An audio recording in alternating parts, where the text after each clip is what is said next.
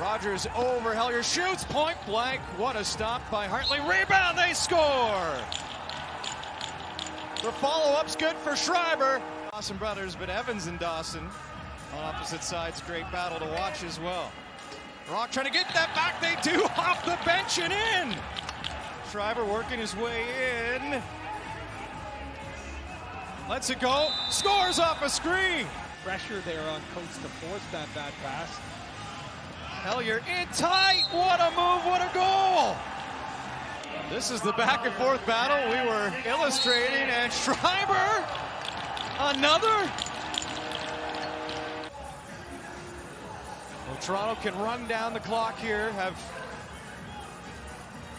an opportunity with the gaping cage, and it'll just roll right in. Six for Schreiber. And he'll put an exclamation point on this one.